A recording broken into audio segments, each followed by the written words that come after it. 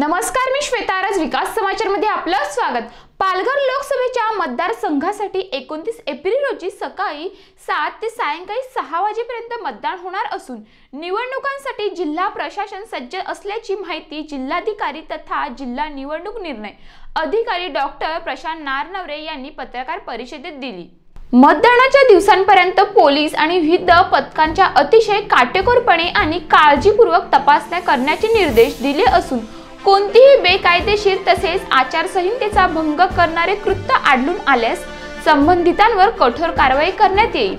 सर्वांना मतदान करता यावे यासाठी एकोणतीस एप्रिल रोजी जिल्ह्यात सुट्टी जाहीर करण्यात आली असून जास्तीत जास्त संख्येने मतदानांनी मतदार करावे असे आव्हानही डॉक्टर नारनवरे यांनी केले. या पत्रकार परिषदेत जिल्हा पोलीस अधीक्षक गौरव सिंह उपजिल्हाधिकारी डॉक्टर किरण महाजन उपजिल्हाधिकारी विकास गजरे यांच्यासह संबंधित समयवक अधिकारी उपस्थित होते. पुढच्या बातमीसाठी तुम्ही पाहत राहा विकास समाचार ध्यास ग्रामीण विकासाचा नमस्कार.